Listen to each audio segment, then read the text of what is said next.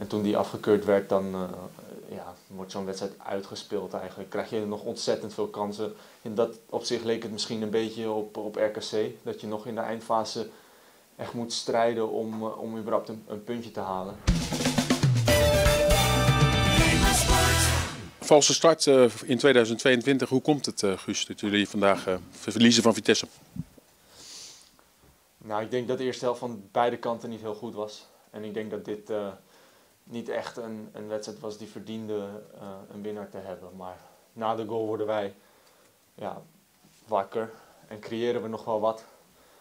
En uh, ja, ik denk na die, na die goal van mij dat we nog misschien wel het gevoel hadden van we gaan er overheen. En toen die afgekeurd werd, dan uh, ja, wordt zo'n wedstrijd uitgespeeld eigenlijk. Krijg je nog ontzettend veel kansen. In dat opzicht leek het misschien een beetje op, op RKC. Dat je nog in de eindfase echt moet strijden om, om überhaupt een puntje te halen. Maar uh, het zat er niet in. Hij viel ook vaak net niet goed. Uh, en ook de eindpaas was niet goed. Hè? Eerste helft ook een moment als Jaan Bakkers hem gelijk goed in de loop bij jou geeft. Mij, ja. ja. Ja, ik denk dat het daaraan schort inderdaad, de eindpas. En uh, ja, ik kreeg ook nog één bal waar een eindpas wel goed was. En toen gleed, gleed hij van mijn hoofd af net naast. En dat soort dingen zitten dan ook gewoon niet mee. Maar ik moet ook zeggen, ja, dat was gewoon niet top. Nee. Hoe komt dat? Uh, heeft dat toch en het is altijd zoeken naar excuses. Toch te, misschien te maken met zo'n gebrekkige uh, voorbereiding met één oefenwedstrijd. En we weten allemaal wat er gebeurd is? Nou ja, ik denk dat elk team daarmee te maken heeft. Dus ik denk niet dat je het daarop kan blamen. Maar ja, dat het een valse start is, dat, uh, dat is zeker.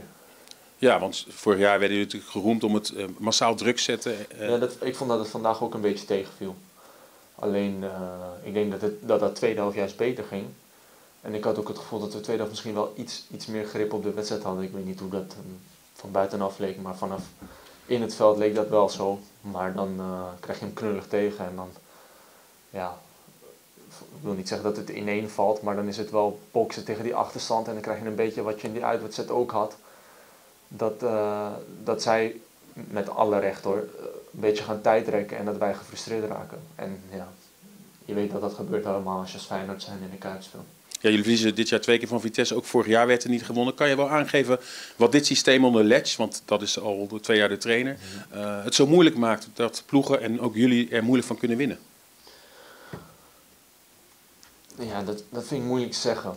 Maar uh, ze spelen heel opportunistisch. En wij, wij, proberen, wij spelen natuurlijk pressingvoetbal. En we willen graag de bal in het middenveld veroveren om dan de counter in te zetten. Want ze zeggen dat pressing de beste spelmaker is. Alleen dat gaat heel moeilijk als de tegenstander die bal vaak lang schiet. Dan moet je op tweede bal gaan spelen en, en dat is iets minder ons spel. Ja, uh, wat is realistischer om, om, om naar boven te kijken of toch ook nu echt naar Vitesse als concurrent te zien en misschien zelfs AZ? Ik denk dat we er nu precies tussenin zitten en dat de, dat de uitslagen van de anderen uh, daarin bepalend zijn op het moment. Tot slot nog één dingetje. Ik weet niet of je dat doelpunt al teruggezien hebt. Uh, vind je het buitenspel of heb je het niet gezien? Ik heb het niet gezien. Dankjewel.